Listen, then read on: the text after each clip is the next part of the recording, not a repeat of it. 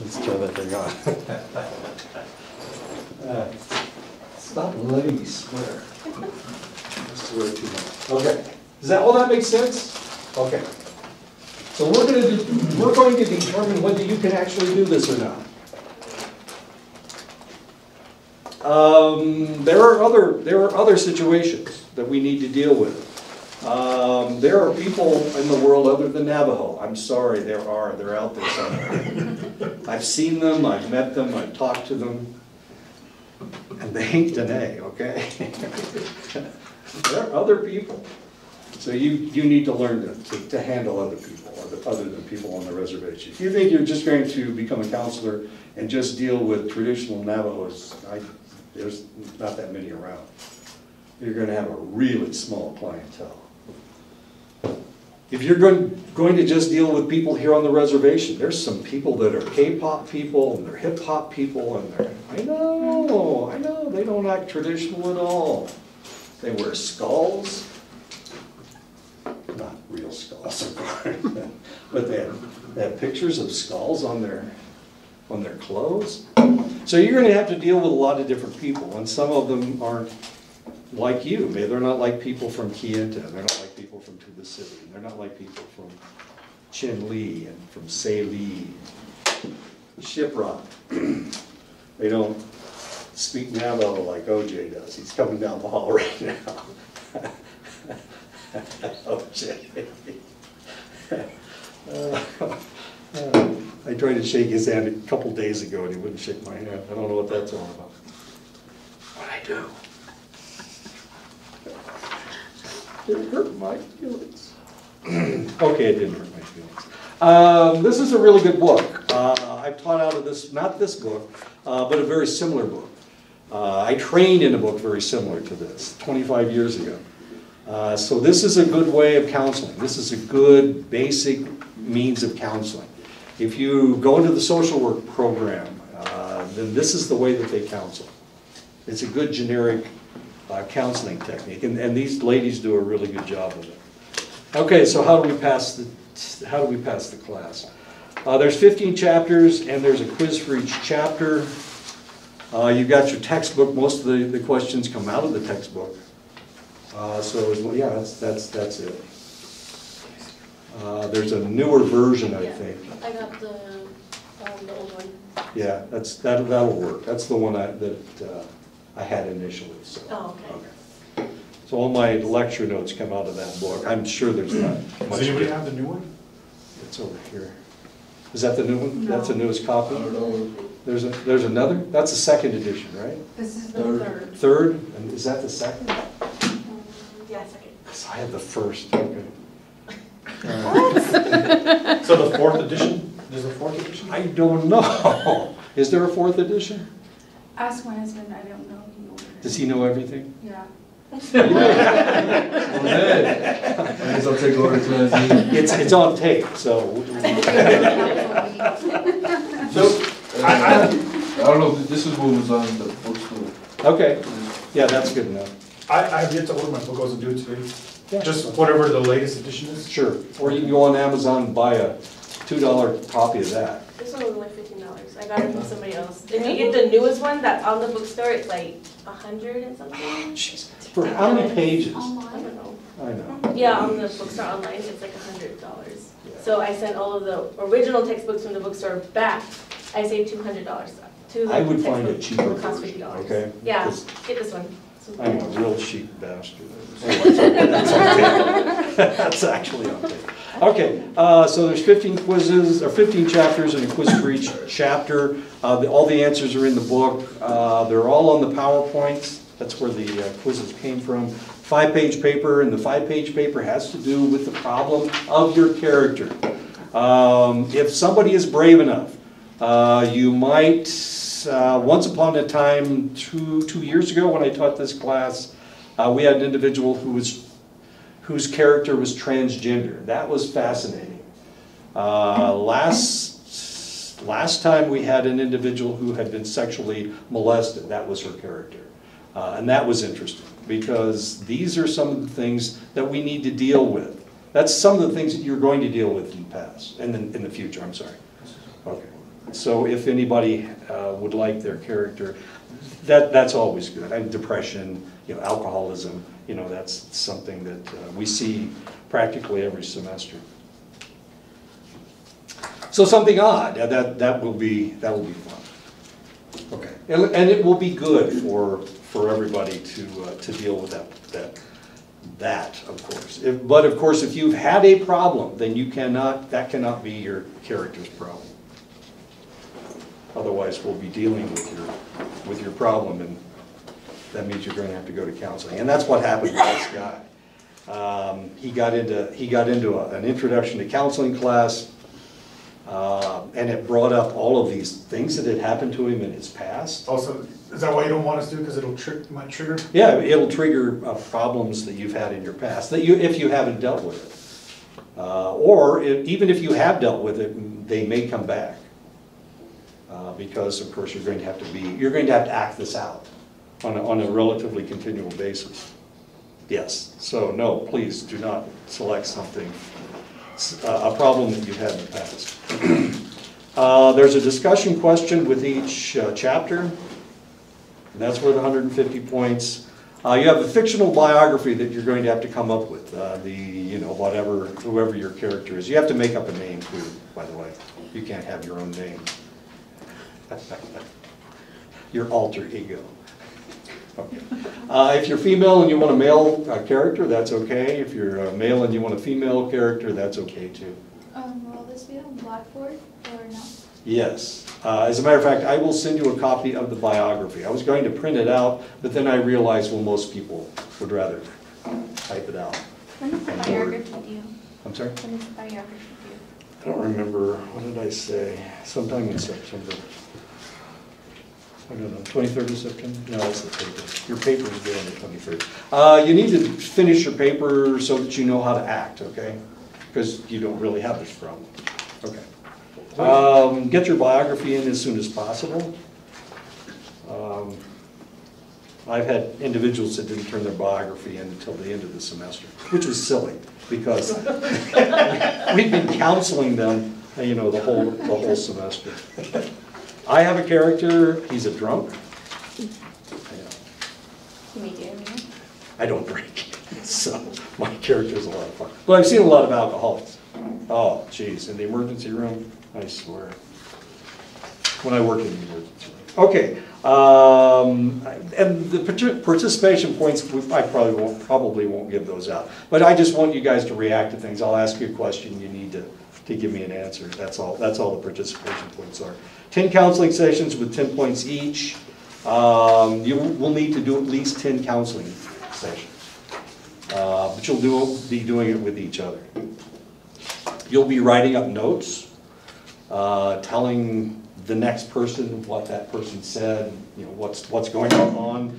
Potentially, we will cure, cure you all before the end of the semester. But a lot of things you can't cure. One of them is borderline personality disorder. There's nothing we can do about borderline personality disorder. Uh, Antisocial personality disorder, there's nothing we can do about that. There's no medication we can give anybody. We can, we can't convince people that they need to stop acting that way. Uh, Narcissistic personality, a lot of the personality disorders are, are untreatable. The only thing we can do is counsel them and try to talk them down from you know, their point of view. So can we still take on that, um, character then? Oh, sure, Okay, Yeah. because, the borderline, um. this my is- first wife was borderline. Oh my god. Um, DID, dissociative identity disorder. I was gonna. Oh, really? Yeah. Oh, yeah, yeah. Um, Dissociative identity disorder. Yeah, Sure. you ever watch that movie on Split? Yeah. Yeah, I'm gonna do something like that. Oh, you wanna, oh, you're gonna I'm gonna all up? try. Walk on the ceiling? Not, not that far. I'll get some special I'm effects. looking forward to that. Okay, DID. You- You'll, you'll understand where DID comes from. Mm, not- Usually from sexual trauma. I think that, because I did a paper on this last semester Yeah, already, so. yeah. Okay. All right. Sure, I don't, and it really doesn't matter. If you think you can act it out. Yeah. Okay. Um, We had one uh, two semesters ago uh, who had DID, and he was good. He should have been an actor. He was really, really good. And if you said a certain word, all of a sudden he turned into another character. It was fun. We had a great time. So we're gonna come up with this person, Yeah. and that's other people, then those ten counseling sessions are gonna be, we're gonna be counseling other people, that character that they came up with. Right. Okay, I got it now. And then we're gonna have that. And you have to act it out. And the better actor you are, the, the more training that you will give your, your fellow students. So, I've had some really bad actors, I mean, just horrible. Was a monotone, yeah, hi, hello, my name is George, I have a problem. We're emotional, we're humans, we do things, okay. So, there you go, you need to create a character. Uh, and like I said, I've got a character, he's a drunk. But he's a dynamic person, you'll like it, he's fun. And so if, uh, I don't know, I don't know if there's an even number of people in here, Uh, as long as we, if we have an odd number of people, then we, we will take on my character, or my character will go out to counsel, my character. Okay, there's Wilson, he punched me the other day. Twice. I was sitting in front of him, that was my mistake. And he was talking, and he, he kept talking about the faculties, I kept punching. He's, he's a neat guy. He's, he's a lot of fun. I have a question, are these, Sure. um, counseling events gonna happen in class or out- outside of In class? class, in class. Okay. Is everybody gonna watch one specific person? No, no, no, no, everybody's going to be counseling somebody else. Mhm. So for half the time, you will be the counselor, and half the time, you'll be your character. Hmm. Okay? If you're uncomfortable with this, uh, then maybe you're in the wrong field. Sorry. I mean, you're gonna have to do this eventually, with real people, so let's practice. Let's see how things go. Okay. Okay, well, let's go ahead and get started. Uh, I think I'm in the wrong field. Uh, I'm impatient, I don't like to listen to people's problems. That's funny, because I was talking to Wilson the other day. He asked me a question, and he, he wanted to know who, who I was and where I came from. And I started to tell him, and then oh, he just kind of cut me off, and he started telling me the story. I was born over in Crown, over by Crown Point. I, I was in an arrangement. He talked to me for like twenty minutes. He didn't really want to know about me, he wanted an opening so that he could tell me a story. That's what he wanted. And he did. I, I talked for like twenty seconds and he lo- talked for twenty minutes. As funny as that is. Okay.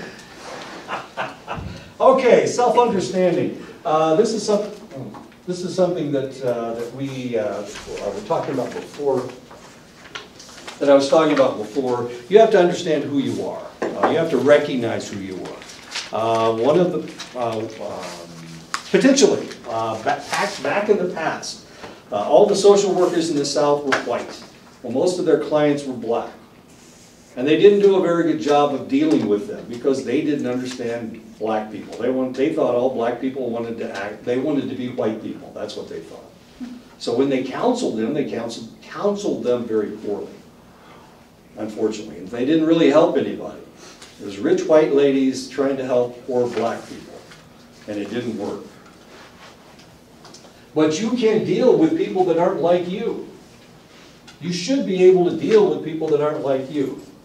All you have to do is respect them. All you have to do is understand who they are. Uh, I grew up in Muncie, Indiana.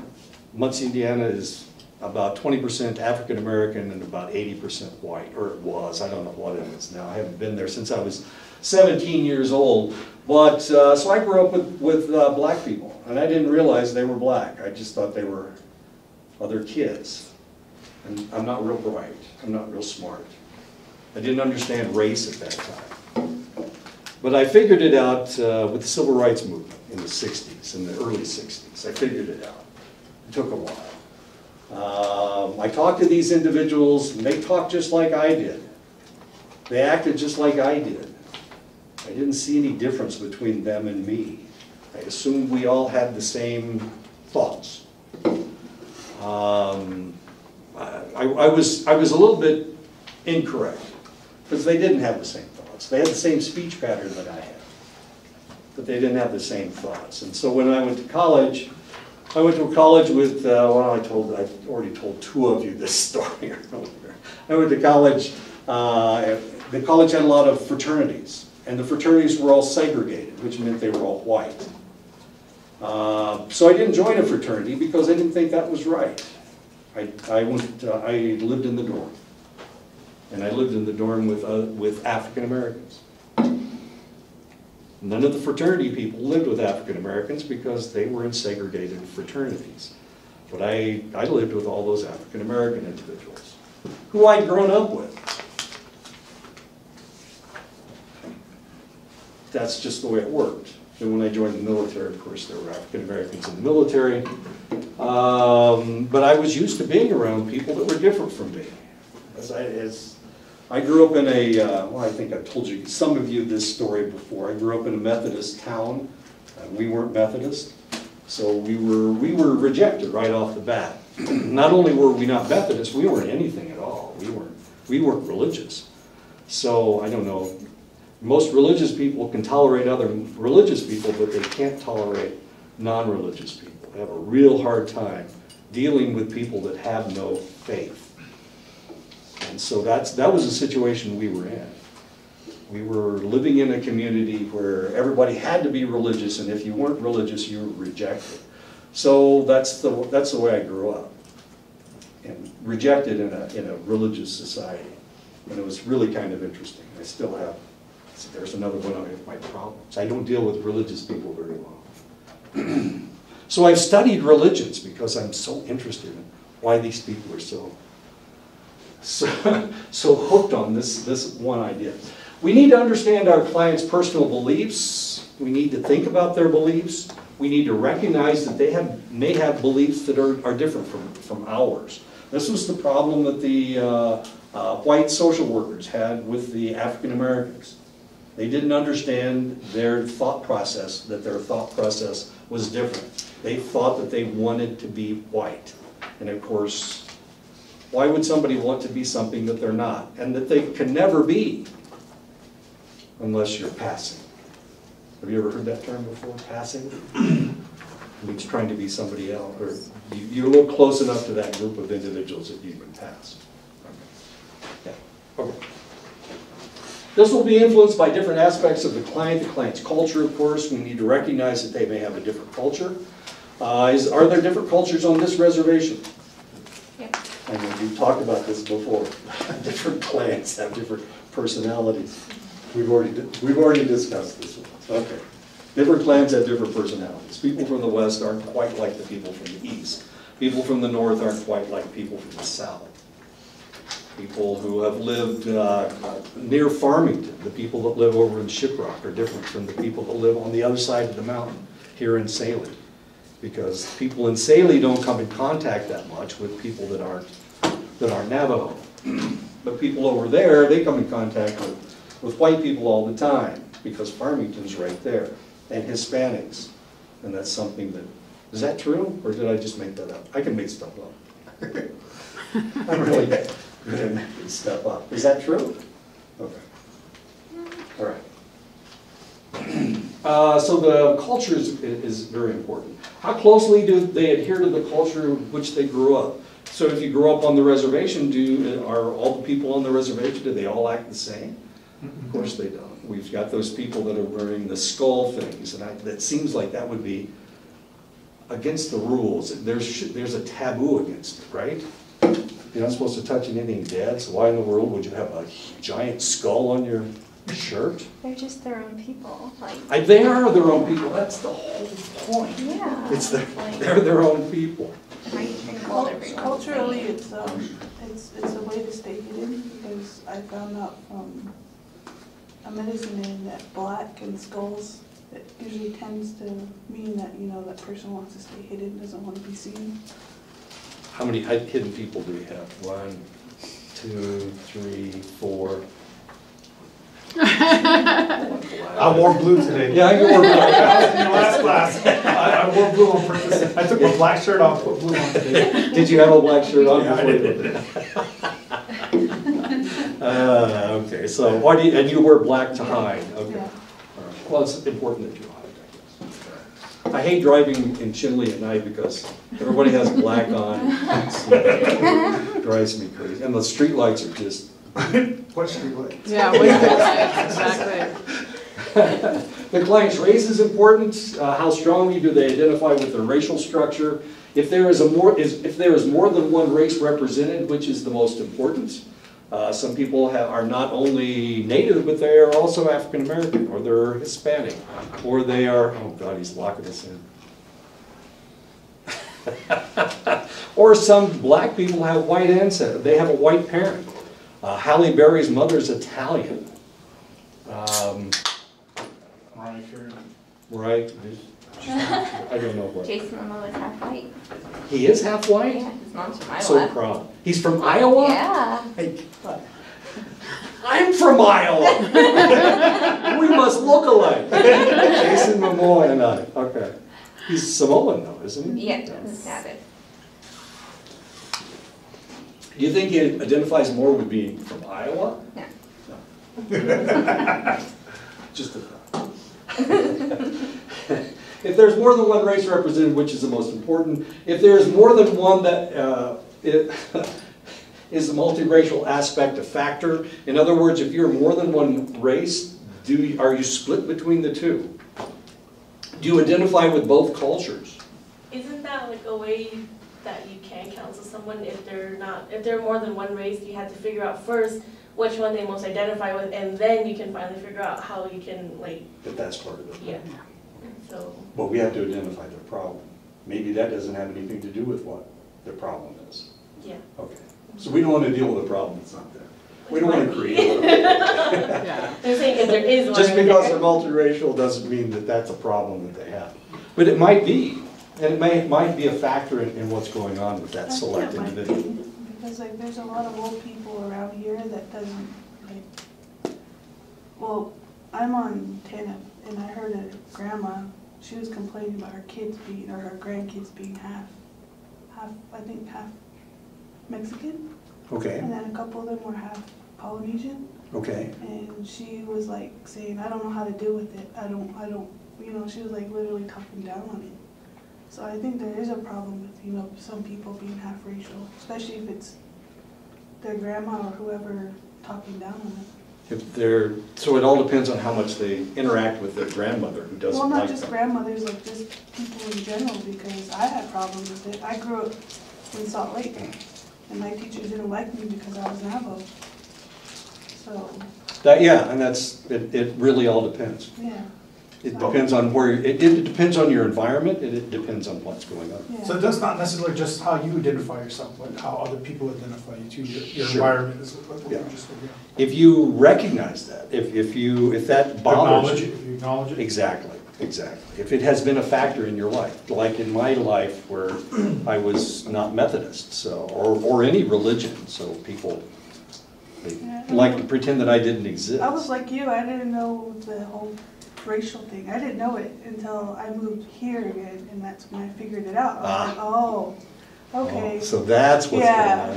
Okay, now I understand. Okay. Yeah, it, I mean, these kinds of things happen. So is that a factor? Well, I've been able to deal with it all my life.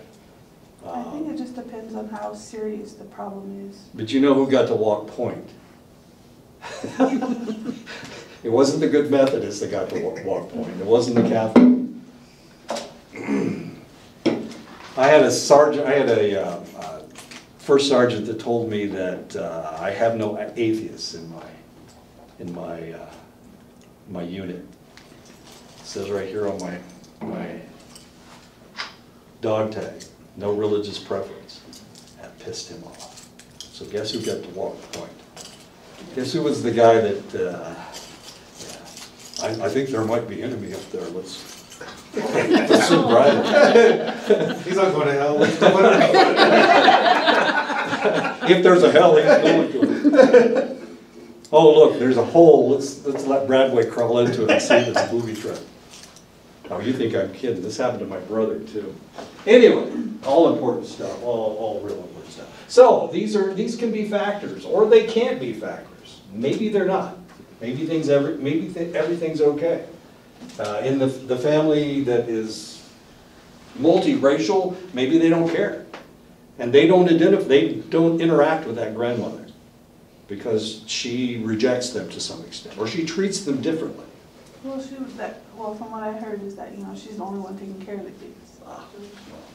That, that's, Yeah. that changes everything completely. Okay. My grandson, uh, my grandson, of course, is my grandson, but uh, his uh, father is, lives down in Florida, and they're rich people from Florida. Uh, And they act differently than we do, Hoosiers from, well, from Iowa. People from Iowa, you know, Jason, Jason and Iowa, the way that we act, and look, of course. We're kind of like twins. Yeah. You see it? I grew my hair long. Right. Can I ask you, They got tattooed a lot? can I ask you kind of a personal question that Sure. relates to what we're talking about a little bit? Sure. Do you have any uh, grandkids that are religious? No. No? Okay. I wonder why. I I was, And neither are my kids. My kids aren't religious either. But they went to church. Uh, that's, that's another story. Um, everybody wants to convert you. I, I've had probably more religious conversations than any, anybody in the room, because everybody thinks, oh, this is, you know, fresh meat. Well, He's, we can, we can change him. Yeah. With Catholic, we, we can't change the Protestant, it's not gonna work. I've had lots of Mormons and Jehovah's Witnesses at my door because I don't have a religion and they, they think they, they can convert me, so I've had lots of conversations. Uh, but, uh, of course, none of them took. But I understand everything, I understand, I, I talk to everybody. Uh, A council needs to recognize that their own culture might influence the way that they see and interpret their clients. And this, of course, is a problem that, that uh, Caucasians have had coming uh, to the reservations forever. Uh, Once upon a time, and this is right after the Long Walk, uh, they had to decide what they were going to do with American Indians. Uh, There were a lot of Indian wars going on. This is right after the Civil War. Uh, There were a lot of uh, wars going on with the Plains Indians. Uh, They had to do something with the Comanche uh, because the Comanche were controlling a huge section of, right in the middle of the country. Uh, So they had to decide what they were going to do with those guys, they had to decide what they were going to do with the Apache, they had to decide what they were going to do with the Sioux, because the Sioux had just kicked their butts up in, uh, up in Colorado and South Dakota. The US government lost uh, a war against the Sioux uh, during the Civil War, and they needed to decide what was going to happen next. That's when Custer comes in, and that's when the uh. Badlands come in, um, and they literally invaded the area uh, in order to, to induce another war so that they could defeat the Sioux. And the Sioux, of course, went up into Canada. And then they came back down. But uh, that's neither here nor there. But they had to decide what they were going to do. Uh, It wasn't just the Navajo that they were dealing with. They were dealing with a lot of hostile uh, tribes. The Cheyenne, the Sioux, the Nez Perce uh, tried to break away and go to Canada. Uh, They stopped them. As stupid as that sounds, why didn't they just let them go? They just let them go up into Canada. Then it makes them the Canadians' problems, right? Anyway, there's a lot of this stuff that was going on at that time. Why am I talking about this? I've lost my train of thought. Wait a minute. So, oh, they had to decide what was, what was happening, that, what was going to happen next. Uh, there were people that wanted to exterminate all the American Indians. Uh, these are English-speaking people, and the English-speaking people had done that in Canada, they did it in Australia, uh, they did it in South Africa. Uh, The English-speaking people tried to exterminate all the indigenous population that lived there. And so that was part of the decision that had to be made. are you talking about being aware of being ethnocentric? They Like were, they were ethnocentric, but they weren't aware of it. They thought everybody wanted to be Christian, everybody needed to be Christian, and everybody wanted to be white. That's what they thought. So they had to decide what they were gonna do. Were they gonna just exterminate everybody? There weren't that many Indians left. The reason there weren't that many Indians left wasn't because of warfare, it kinda was, but it was mostly because of diseases had killed off a lot of people. Had killed off tons and tons of people, maybe ninety percent of the population in the, uh, in the Americas.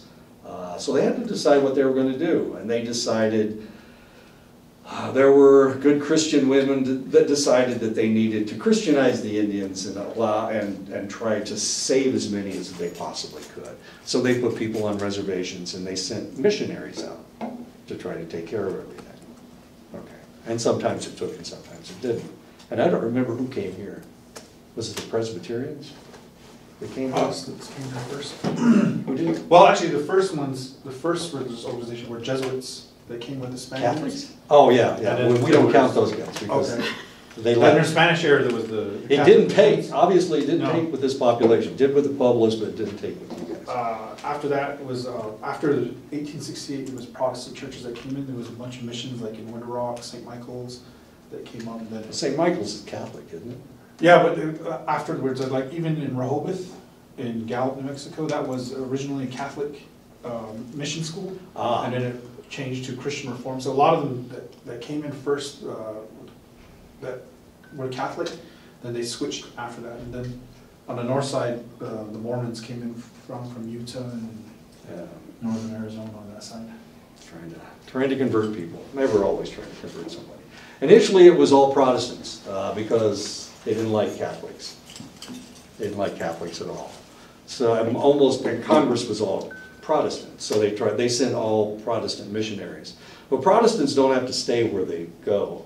Catholics do, but they, they send you someplace, you can't leave, so you have to stay there. That's your mission, so you have to stay there. Um, So a lot of times what happened, the Protestants bolted and the Catholics moved in. But they didn't want, they didn't like Catholics. Anyway, they had a prejudice against Catholics. Uh, 1880 and, between 1880 and 1920, 60% of all people that immigrated to the United States immigrated to the United States, and most of them were Catholic. They were, and they had black hair. That's why there was a heavy Catholic influence at the beginning. They weren't um, welcomed on the eastern uh, side of the United States, and so they were looking for areas to set up, and they pushed further west. Sure. That's why actually New Mexico has a a huge, um, had a huge Catholic and Irish uh, presence right during statehood, right during that time. If you understand Catholicism and you understand what's going on, there were, there was an uh, argument as to which Catholics were going to take, take over. Whether they were Italian, Irish, or Pol, uh, eventually it became Polish as well. But there was a, this, this uh, war going on between the, between the Irish Catholics and the I- Italian Catholics as to who, who would have the most influence, as much fun as that sounds. You, you learn this when you study these stupid things. And who cares? Who really cares? Shouldn't even care, so you understand. You only care if you're part of that religion, right? Mm-hmm. Yeah, but it, I mean, it changes the way, the way people react to other individuals. I used to live in Omaha. Omaha, Nebraska is eighty percent Catholic. But it's Irish Catholic, it's Italian Catholic, it's Polish Catholic, it's, what's another, Slovakian. There's Czechs and Slovaks there, they hate each other, as much fun as that is. Anyway, okay, so you need to recognize that, uh, that your own culture may get in the way. So if you were counseling somebody from Phoenix and they were native, okay, but they're not Navajo, would you be able to do that? Would you try to convert them to your way of thinking? Can you do that? Maybe they're Hopi or Pima or Apache. Could you, could you do that? Could you deal with that as a counselor? Okay, well, you have to ask that, you guys have to ask yourselves that question. A counselor needs to recognize that their racial background uh, might influence the way that they see others, especially if those others are from another race. And of course, there are racial prejudices. Uh, If you live in Salt Lake, there's a lot of Mormons up there. God, It's the Mormon capital of the world. And It really is the Mormon capital of the world. Okay. Uh, So Mormonism has a lot of political influence. Well, They kicked all those kids out. That's funny. Okay. Uh, So while you're up there, they saw you as, as native. I'm sure that's not the word they used. No, they kind of, it was more like, um, an outsider, um, a person that needs to be pushed out. 'Cause Okay, There s- was, there was three, three of us, but I would look more native than they did. One of them looked Asian and the other one looked Indian. Ah. Oh, from India, okay. Yeah, so- Asian Indian. Yeah. So, I mean, they tried to, yeah, they, I got the one, the one end of the force, you know, they would be really mean to me. So it's not a lot of fun Mhm. being the outsider, is it? Yeah, They've got words for you, they got names for you. yeah, they did, but they, they couldn't say it. Well, of course. Yeah, but I mean, acted almost like bad. swear. Yeah, Well, you guys have a name for me, don't you? No. Yes, you do. The hell you don't. Wilson called me that the other day. What did he call you? Billigana. That's it? I thought it was something worse. Yeah. It means that you're different, means that you're an outsider. Right? I don't see it like that. Yeah. Yeah. The- the It's a way of isolating me. It's not a, um, It's not a slur. It's I don't think it's like- Sure it is. derogatory. Yeah, it's not derogatory, but it, the word comes from Bitagani, which means the people that won't die, because no matter how many we kill, they keep coming. Or Kill harm, they keep on. Subhuman, kind of like cockroaches. Okay, so it means cockroach, that's funny. They don't die, they. Has anybody else ever uh, had, had this kind of a reaction? Where you were different? I used to live in Japan. In Japan, if you're not Japanese, you're gaijin. Which means, outsider. oh, that's, that's the nice interpretation. The outsider. Means the guy that sneaks in the window at night. What guy sneaks in the window at night? Oh, yeah, a rapist. or- or a thief. Never crawled through a window, well, maybe I have. Only so I could unlock the door, so. Okay. Has anybody else ever experienced being an outsider? At my own school, yeah. At your own school? Yeah. Like I canned a little bit, but but back then I didn't go outside, so I was like really light complected. I think I still am I?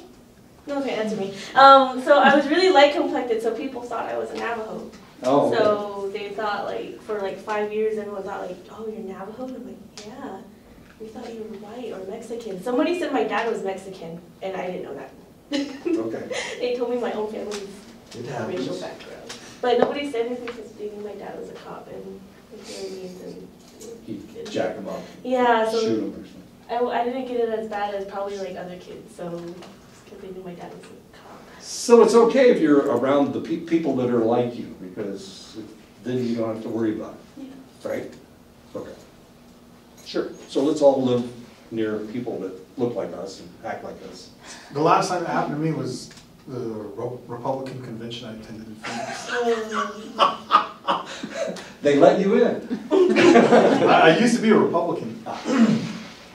not anymore. Don't No, just the well. last couple times I went to things like that, like my friend ran for sheriff of uh, Navajo County, he was a Republican candidate, and I helped him campaign. Took him out to all the chapters and everything and introduced them to people, so, uh, I think I've always been a Republican, uh, since I started voting. But on the last couple, the last, especially the last election, there was, just, you could feel when you're not welcomed, when you Sure. walk into a room. And I was in Phoenix at the, the convention down there, there was a lot of, uh, you get, pe- people were saying things not directly to me, but loud enough for me to hear. Isn't that weird? And so I said, okay, I get, you know, I get it, I'm not welcomed here, and that's fine, I can take my vote elsewhere. Sure. Republicans, huh? Oh, interesting. When I was at Ashford, during the last election, I was at Ashford. um, A lot of my students were Hispanic and and African-American. Uh, They decided they'd go to a Trump rally. Well, they didn't go for, for very long. They were kicked out. Not because they said anything, they were just standing there. But they were afraid they would say something because they were Hispanic and they were black. And because of that, they, they kicked them out of the, the auditorium. Uh, they had uh, security standing behind them. And then eventually they just decided that they weren't gonna mess with them anymore, so they just ushered them out of the uh, auditorium. Which seems odd. You, you would think that if you, that you could say anything that you wanted at a, at an open forum like that. But it's not open, it's closed. So if you say something against the president at a Trump rally, they will, they'll get, they'll kick you out. That's the way it works. They kicked him out just for being different. They weren't white, so they kicked him out, as weird as that seems. And of course, the military, everybody's the same. Green. Green. Exactly. Everybody's the same color. Uh, Army, Army, Air Force, Navy, Marine, green. We all wear green clothes. Council needs to come to grips with their own ethnicity and uh, uh, how that influences who they are and how they see others. I don't have a clock, so you guys are gonna have to tell me when I get close. Sorry, my, my, evidently my phone's dead. Okay. Uh, Okay, so you need to come to grips with this, you need to know who you are. I've had people in counseling class at this institution who didn't think that they could handle people that weren't Navajo. They didn't want to, they only wanted to counsel other Navajos. But of course, not all Navajos are the same, they wear different clothes. Most of you wear black, strangely enough, especially in Chinle at night. Uh, do I- So is that like the same thing as like if I only wanted to work with veterans? Um, y- yeah, kinda. You should be able to counsel anybody. You should be able to deal with any situation. What you're gonna just, what you wanna, you probably wanna work with veterans who are, uh, who, uh, combat veterans, Yeah, who have PTSD. yeah. Okay. Uh, But you're also, if you get into that type of counseling, you're also going to have to deal with females who have been sexually molested in, in the military. And there's a lot of them Sexual trauma, yeah. sexual trauma. So you're gonna have to deal with sexual trauma. You're going to have to deal with uh, individuals who, Or family members? yeah, you're gonna have to deal with those people as well, but you're also gonna have to deal with transgender people, because there's a larger number than we recognize at this point. A lot of people are changing their gender. They go into the military thinking that they are, why is this thing doing this? They, they go into the military, military thinking uh, that, that um, if they establish who they are by being more masculine, uh, that they will be able to uh, lose their female identity. But, I mean, it happens all too often, well, relatively, not that frequently, but it, it does happen, that they, they realize, they recognize their feminine side. Okay, yeah, a lot of transgenders. Uh, There's a lot of, um, oh, geez, that's not, sexual orientation, of course, is not important in the military, but uh, there are uh, a relatively large number of uh, of lesbians in the- in the military.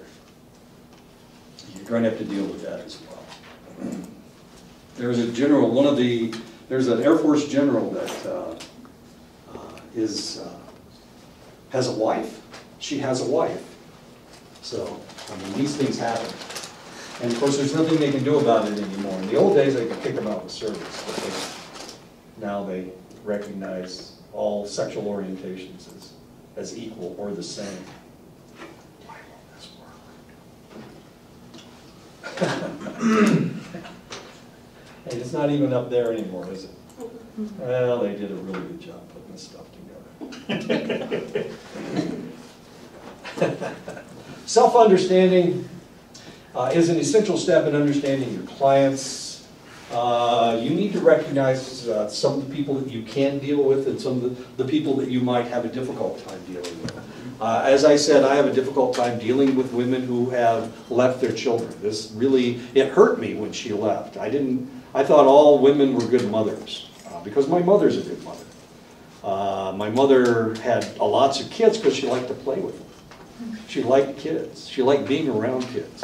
Other mothers, they have children because they think they're supposed to, and then they don't want to spend a lot of time with them because they get in the way, they smell bad. But my mother wasn't like that. She liked playing with kids. She, she did, played with kids all of her life. She's a nurse. Uh, I know, she played with her grandkids. She was in her eighties playing softball with her, with her grandkids. She loved it. She had a great time. Was her mother a good mother? Her mother, Yeah. No, her mother was a shh, bad mother. No, Her mother uh, read a lot, and so she was raised by her older sister primarily. So her mother wasn't a very good mother. As a matter of fact, her brothers were, they lived on a farm, and she did, she did most of the farming with her dad because her brothers were lazy. Okay, I'm not gonna use it. Okay, I'm not gonna swear. But they were lazy. And my, my mother, who was all of four foot eight. And this was back in the day when they, uh, they drove tractors that had no power steering. Uh, They, uh, they uh, had horses that they had to control. Yeah, that's how they did things. And my tiny little mother was, did that. Oh, God, she had arms the size of my legs. You didn't want to wrestle with my mother. She went into nurses training and uh, one night they decided that they were going to have, they were going to see who could, who was the strongest. And my tiny little mother, who was, they called Goody, her name was Goodwin, her last name was Goodwin. She kicked everybody's ass. All these great big women, she just laid them out. Anyway, that was my mom. She liked kids. She liked to play with, you know, she liked to interact with, with people. And some people, people don't like to interact. Some people are really shitty parents. I'm way over here, so maybe you didn't. Some grandparents don't want to play with their kids. I play with my grandson all the time. We play baseball, we play soccer, we play everything. We, the other day, we had a water balloon fight. I won. We had a water balloon fight. He goes down to Florida to interact with his dad and his dad's family. He plays video games the whole time because nobody wants to interact with him. They don't do that kind of thing. They're rich. Wealthy people don't play. They ain't fun at all. There are multiple influences on how we see ourselves and interpret the world around us. Uh, Your culture, your race, and ethnicity are important. And of course, the first discussion question has to do with how you identify yourself. Do you identify yourself as, as, as Navajo? Do you how do you identify yourself? That's the question. And it's really quite important that you need to know who you are. Your gender and sexual orientation are, are influential. Uh, your socioeconomic status, your spirituality and religion, your life stage, your family of origin, your disability or, or ability uh, are influential, whether you can do things or whether you can't do things. Uh, my wife, as I told you, she had uh, hip surgery. She had both of her hips replaced last year. I'm very athletic. I do things. I'll probably, I may go lift this afternoon. I hope so. I hope I can find time to go lift this afternoon. I do things all the time. I do athletic things. I walk, I ran the dogs yesterday. And I'm dragging these two damn dogs. I'm running along and they, they, they can't keep up with me. I, I think they're lazy. More than anything else. And I'm dragging these two damn dogs. You know, I'm running past a, a, a, a, a uh, shadow and they lay down to, to sleep. You know, both of my dogs, ridiculous as that is. My point is that uh, our abilities or our disabilities influence who we are. My wife is starting to gain a little bit of weight because she can't move. She had both of her hips replaced. She got a bad knee.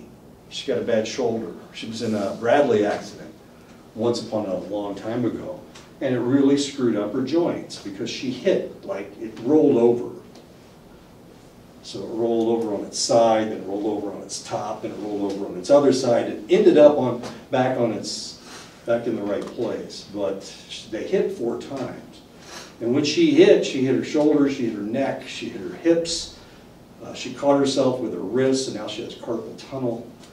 Uh, so now she's, she has disabilities because of her accident, because she was in a Bradley vehicle accident over in Korea. Anyway, that has to do with disability and ability. And I think the reason that she hates me is because I can do things and she can't do anything. Uh, she's decided she wants to kayak. Oh, let's let this.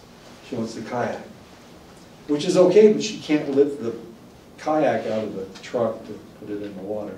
I know, it's kind of hard. Level of stress demands uh, in our life is important as well. How much stress are you under?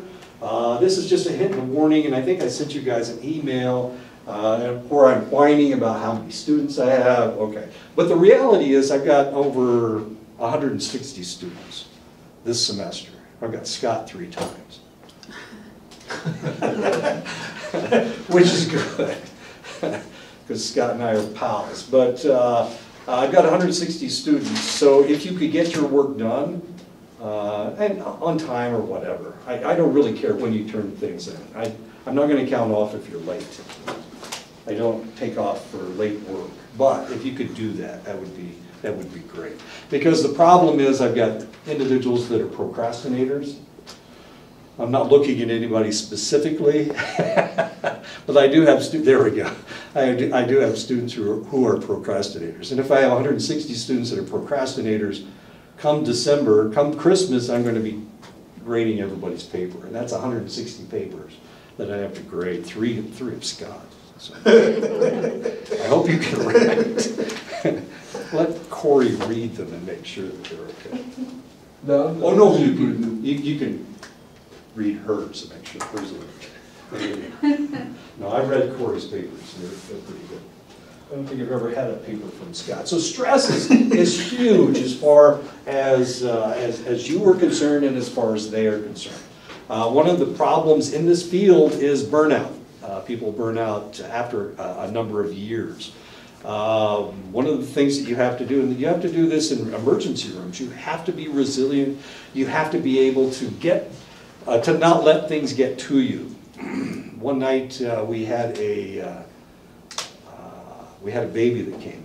The baby had, uh, the parents had put the baby to sleep on a waterbed. This is back when they actually had waterbeds. The baby had rolled over, and Unfortunately, nobody checked on the baby enough. This is that whole shitty parent thing. Um, They didn't check on the baby enough and the baby asphyxiated. uh, Because it couldn't push itself up from the waterbed. When it pushed down, the water bed came up. Anyway, the baby asphyxiated. I know it's hard to deal with. Of course, I was a lab tech at the time. I was in the emergency room. Uh, I was, I was the, working in the morgue that night. I know, it's tough, it's tough stuff. But you can't let it get to you because the next guy that came in cut his hand off. So we had to deal with that. You've got a baby that's brain dead, and you've got a guy with a, with his hand cut off. And the next person that came in was in an automobile accident. You can't let it get to you. You have to be able to Develop coping skills. have to cope one way or the other. Yeah, and of course, some people cope by drinking, other people cope by forgetting about it. I cope by forgetting about it. It's just the way it works. I still remember the baby died. And one of the, one of the, one- I know that it's a tragedy, okay? But we were able to transplant, we saved seven babies' lives with that one, the death of that one baby. I know, I know, I know. So there are positives to every negative. Okay.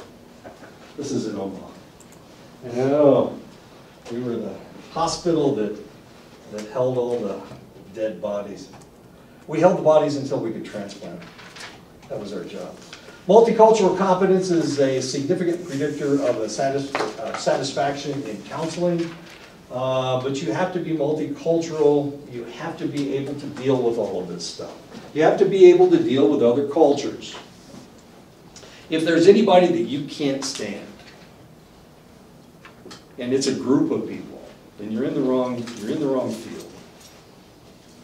If you can't stand people from Farmington, you can't stand people from Gallup, or people from Phoenix, or city people, or country people, or or black people or white people. I know it's hard, white people are really hard to tolerate. Uh, they think they're superior to everybody else. If you can't handle those people, then you're in the wrong game. This is, get into something else, where you can talk about Belagana all day long. Bastards. I think that's what Belagana really means. Difficulties may arise from unacknowledged differences in perception. Uh, You're going to see things differently. Uh, that's one of the things I learned when I first came here. I had been up on the Fort Belknap Reservation for ten years. I thought I understood Indians, as if all Indians were the same. But of course, I had come in contact with the Sioux, I'd come in contact with the Nez Perce. One of my best friends was a Nez Perce uh, up there. Uh, and they don't think the same. And they have swear words for each other. That's fun. Nobody likes the crow. I don't know what that's all about. Yes, I You're traitors. yeah, that's, that's what they call them up there. But, I mean, if you come in contact with a crow, they, they look and act just like everybody else, so, I mean, it's not like, it's the idea of the crow, I guess. Anyway, so you need to uh, understand that they see things differently than you do. They're, they're northern plains Indians, you guys are southern, southwestern Indians. Your way of looking at the world is completely different than theirs. They were buffalo hunters. You guys did hunt buffalo to some extent, but not like they did. I mean, that's all they did. That's, that's what they, that's how they survived, was buffalo hunting. So they're tall, so that they can shoot down on the buffalo. And if you ask them, what, what did they do? We were buffalo hunters, and they always shoot an arrow. Like buffalo or little rabbits running. Because they were on a horse. Exactly. And they always shoot down. They're funny. Uh, A little bit happier than you guys are. Happy people, everything's a joke. They laugh all the time. Everything. Chuckleheads. You must be nice. Always smiling. It is critical to examine beliefs, assumptions, and biases. You have them, they have them, but we need to deal with these. Uh, if you can't stand the, somebody, the F-bomb, if you can't stand somebody using the F word. Uh, I was walking back to my office the other day, and this other faculty member came up, and it was fucking this and fucking that. Oh my God. I didn't believe that somebody was swearing like that, and he was a faculty member. Now, normally I don't swear, I don't use that word, except with my wife. When we're talking about the military usually. Uh, but, uh, I, I usually don't use that word, and this guy, every third word. I mean, it's like he just got out of the service, and had been under fire. It was bad, I mean, it was really pretty bad, and Jeremiah was standing right beside me, and I thought Jeremiah was gonna drop his teeth, you know, it was, who talks like that? But if you can't handle that, then you shouldn't be in this game. You've got to let them do that, because they're, that's how they dissipate their emotions. That's how they, uh, that makes them feel better. It, it releases tension. And if they have to hold that in, now we got a problem, now we got worse of a problem. But if you can let them just expound, and of course, working with military veterans, you're gonna see that and hear that a lot. And this is one of the reasons, you know, I come back from, I come back from uh, summer vacation, and, you know, I've been around military guys, and, wow. I'm lucky I can control my, my vocabulary. Because they, that's one of their favorite words. Everything is able to have sexual intercourse with someone. Isn't that what it means? A pencil? Come on. Your car? Really? Something broke, and it was having sexual intercourse at the time, I guess. You don't know what I'm. You're lucky. Becomes a verb. It's, it's, exactly.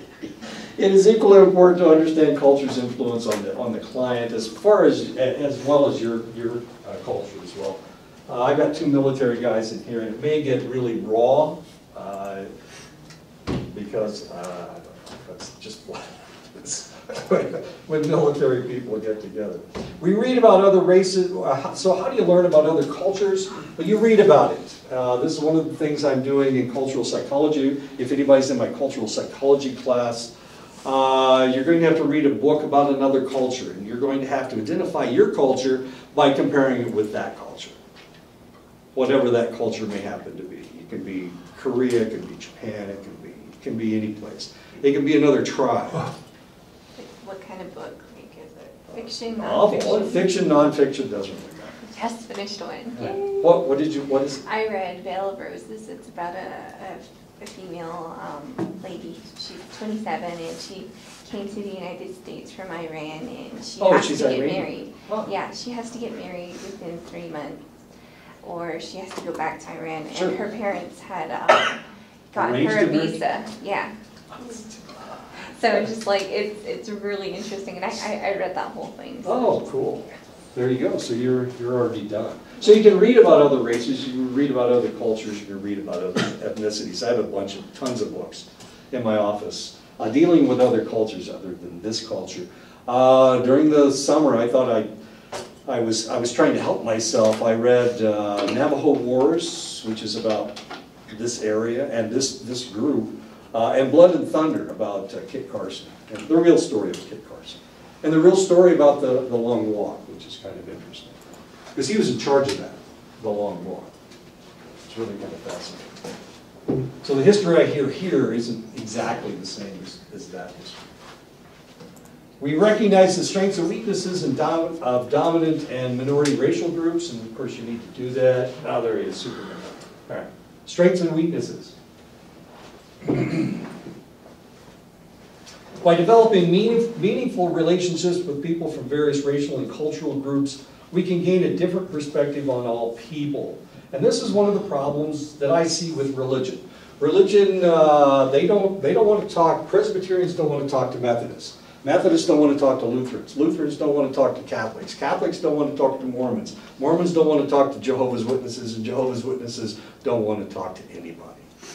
Okay. My point is, if you are in a select religious group, you don't really interact with, with people outside your religious group. Or you don't have to, Unless you're non-denominational. unless you're, it's a non-denominational institution or, or whatever, which there aren't that many of those around. Anyway, so we need to develop uh, meaningful relationships with other individuals. Whether they're white or black or Hispanic, uh, big question about immigration right now. Uh, Huge question about immigration right now. We don't know what Trump's gonna do next. Uh, Looks like he's gonna shut down immigration completely, at least that's what he's threatening to do. Uh, Lots of strange things are going on. Uh, And who are these people trying to come into the United States? What's the hell's wrong with these people? Why are they trying to come into the United States? Who are they? Where are they from? Iran, of course, they're all from Iran. Where are they? Coming across the border. Who are they? Are they Mexicans coming across the Mexico, border with Mexico? They're all Mexican? Is that what's going on? Who are these people? Who are these people we're keeping out? Do we have any clue? Do we know what they're like? Do we know what language they speak? Wait, just wait. Have I got a story for you? How am I doing on time? We have six minutes. Six minutes? Yes. Okay, I can, I can finish this. in six minutes. Who's coming across the border? Any ideas? We keep, he keeps talking about caravans of massive immigrants. Mexicans. Who are they? Mexico? Mexicans? Mexicans? Most of them aren't. I know. Wait a minute, that's the Mexican border. It should be Mexicans coming across the Mexican border, shouldn't it? Didn't I say, um, Wasn't it El Salvadorian? El Salvadorian, Honduran, um, Guatemala, yeah, they've got lots of problems down there. And people are fleeing because the gangs kind of control things down there, and it's very dangerous to be young. It's dangerous to be female uh, in that area because of what's going on. So they flee, and they're coming to the United States because it's safer here than it is in Guatemala, Honduras, and El Salvador or whatever. So most of them aren't actually Mexican at all. They're, they do speak Spanish. Some of them speak another language, as curious as that is, and we'll talk about that in just a second. I got, I got five minutes, right? Hmm? Okay. So we need to talk to people with a different perspective. So if we want to know about the immigrants, we need to talk to the immigrants. We need to find out who these people are. Don't we? Or just keep everybody out. Now, it was up to you guys, you would have kept me out, right? Four hundred years ago when my people came across, okay. It's too late, I'm already here. We've been here for three or four hundred years. I'm sorry, it's too late. You can call me all the names you want. I know what that word means.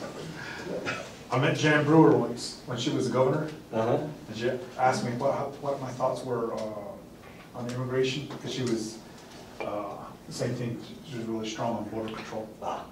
And I said, I agreed with her. I said, I said, why don't we just start, I think the date from fourteen, anybody who arrived after fourteen ninety-two, go back. Did you think that was funny?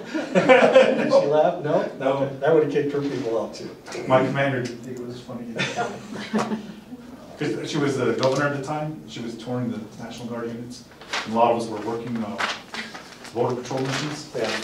And So we were getting ready to go down, and she asked us what we thought about it, that's what I told her. By developing relationships with colleagues and mentors who are willing to discuss cultural and racial issues, some people don't want to talk about it, and a lot of people don't want to talk about it. It's too inflammatory. So we don't want to talk about it. Maybe we don't, we don't want to talk about it. Maybe there are people in here that, that believe that uh, there shouldn't be anybody coming across the border. Lock the damn thing down. Keep everybody out. By God, my people are here, so that's, and, and we came here two generations ago, that's, don't let anybody who hasn't been here for more than two generations, how about that? Um, I don't know, I don't know, I don't know how you guys feel about this stuff. I mean, as far as you're concerned, we're all, all non-Navajos are, are immigrants. But did you guys start here?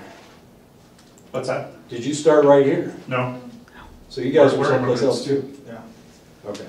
If we pretend that the land bridge never, was never there, and that you have always been here, been in, in the Americas, you still didn't start here. Weren't you farther north? Well, our cultural stories, it starts with the black, blue, yellow, and white, there's an Correct. emergence, and so we- our, our own cultural history is a story of migration. Right. Right. So we can assume you- that you didn't start in Arizona? Yeah. Okay, and New Mexico?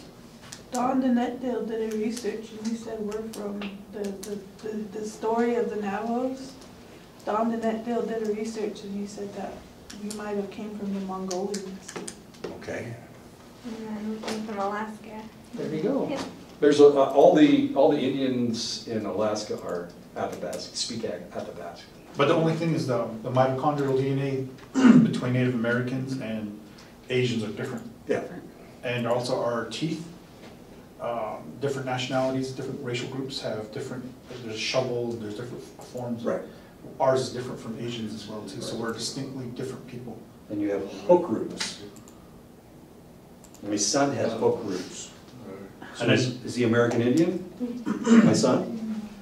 My wife claimed that she was Chickasaw. There's three basic groups of Native Americans. The first one were the uh, Paleo Indians, and the Anasazis, and then there was a second migration. Then the third migration, the last one was Athabascans, which the Diné or Navajo are a part of. So the within- last, the last, the last migration. Yeah, even within Native Americans, there's three just different, dis- distinct different groups. Yeah. Wow, that's impressive that you recognize that. Thank you. Because not, a lot of people don't. The Choctaw think that they came out of the mud, which is kind of interesting. That's a Choctaw. So we can watch films about other races. Is it time? Am I doing okay? Do I have any more? Two minutes. Two minutes. I got, I got to talk about language. Talk fast. just a second, I know. Participating in cultural activities or visiting other countries, and some of us have been to other countries, and we know that, that they ain't the same as we are. Uh, if you, if you, uh, watch movies about the Japanese, or you look at movies, they're almost like Americans, aren't, aren't they? The hell they are. Have you ever lived in Japan? Well, for one thing, I was a gaijin over there. But they, they're not, they, they don't act that way. And of course, it's not in the movies, but they're, the, the fact that they're so much, so very much different than we are. Uh, so visiting other countries is important. I, let me tell you the story about uh, language real quick before we leave. Um, there, there, there were groups coming across uh, the, uh, the border, and uh, they were interviewing them, and they interviewed them in Spanish. Now, the problem was that these guys, even though they were from El Salvador, Honduras, and Guatemala, they didn't speak Spanish, even though that's the language of Guatemala, Honduras, and El Salvador. They were indigenous.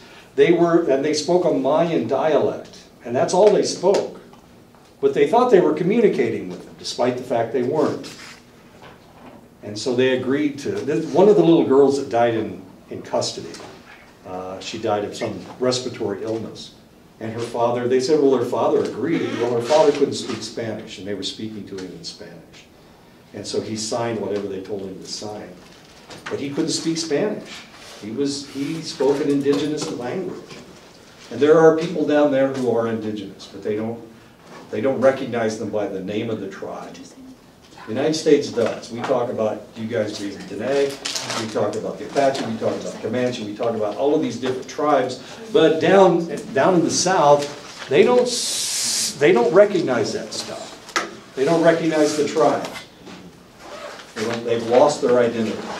The people in southern Mexico, the Chia, Chiapas region, they've lost their identity because the Spanish didn't recognize that. Anyway, that's not important. Okay, I'll see you guys next time. It's it's about, I'll see you guys next time. Work out your biography, think about what you want, what problem you want to have, how you want to act, what kind of a problem you've got. If you want to be, you know who did that? Yeah.